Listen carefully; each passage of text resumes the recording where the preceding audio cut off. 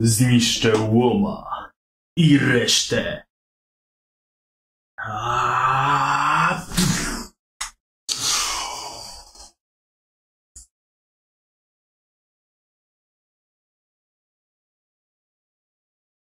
A?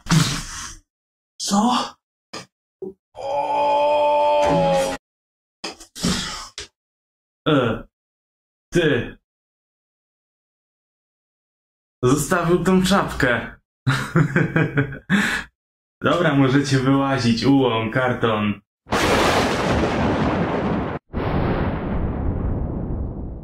Witajcie, tutaj kolejny przegląd tygodnia, czyli najgorsza podróba Cyberinfo i zapytaj beczkę. Tutaj najgorszy prowadzący na świecie Stefan z Lewozmywak. Jeśli film wam się spodoba, Kogo ja oszukuję? Przejdźmy do komentarzy. Fajnie czytasz na filmie. Hmm. Co? Sorry, wiesz, zaczytałem się, nie? W sumie to bardzo ciekawa powieść była. Ale dokończę ją później. Kapucin, kurwa, a nie konkurencja zawodowa. Dlaczego? Tak to się Norbercik zastanawiał, kiedy to zauważysz, ale wątpię, że Kapucin i Keczupin to jest dobra konkurencja zawodowa. No bo przecież nikt to zdrowy zmysłach nie maczałby parówek w kapucinie i nie popijałby keczupinem.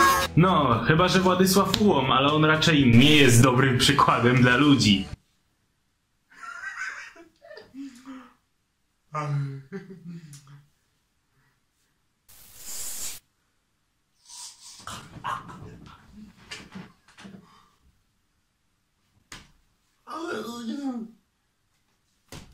Piękny film. Dziękuję. Murarka.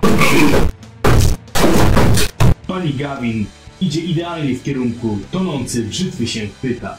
Gdy nie ma argumentów, to zaczyna bawić się psychologa i moralizatora. Kurwa, kisnę.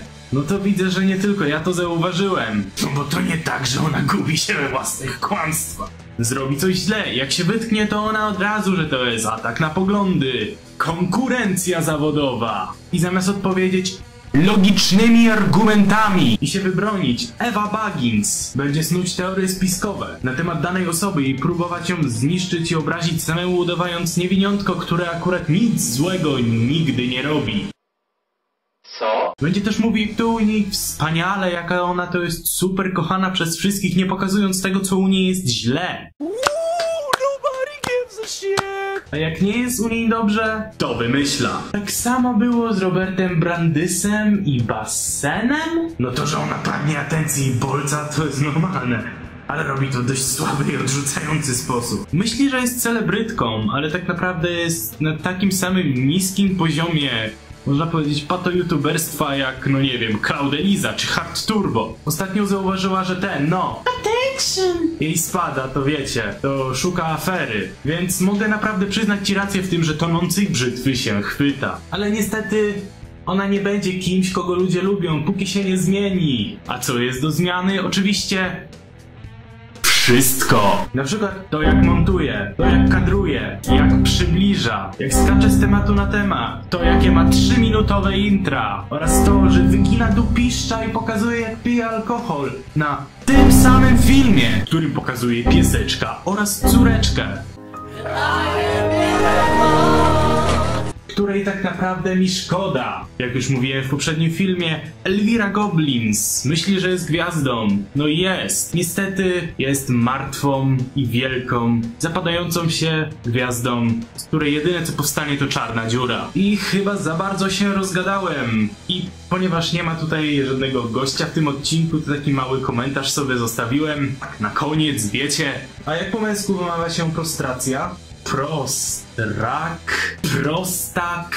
A może po prostu wymawia się tak, że skończył nam się czas, niestety. Więc to będzie koniec dzisiejszego odcinka greenscreen247.pl Więc żegnam się z wami machając to tak jak w Familiadzie się robi. Będę teraz to montować dalej, marząc o wbiciu tysiąca subskrypcji, żeby w końcu odblokować tą kartę społeczność i naprawdę móc pisać posty, porozumiewać się z różnymi ludźmi, potencjalnymi widzami oraz widzami czy też innymi twórcami. A was zapraszam na Discorda.